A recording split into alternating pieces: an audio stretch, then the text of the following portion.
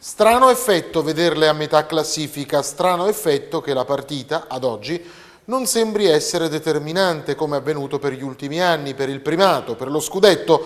Insomma, è un Napoli-Juventus in tono minore. E il turno infrasettimanale è inteso sottolineare ancor più questo titolo. Azzurri incapaci di vincere col Carpi, bianconeri addirittura fermati in casa dal Frosinone, che ha così guadagnato il suo primo punto stagionale incredibile solo a pensarlo qualche tempo fa. Eppure Napoli-Juve ha sempre il suo fascino perché è la partita che ha visto protagonisti anni fa Charles e Sivori, Altafini e Savoldi, fino ad arrivare alle epiche sfide contraddistinte dai colpi di genio di Maradona, specie quella punizione dal limite che Tacconi oggi ancora si sogna. E allora Napoli-Juve è sempre Napoli-Juve, anche se la classifica dice che è una semplice partita di metà classifica.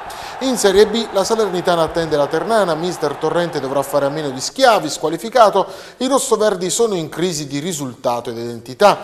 In panchina dopo le dimissioni di Toscano la formazione Umbra avrà l'allenatore delle giovanili in attesa che arrivi il sì di Gautieri, mentre Sannino avrebbe già rifiutato. Salernitana che intanto cerca di ricompattarsi dopo il buon inizio di stagione, sono giunti risultati altalenanti e qualche polemica di troppo.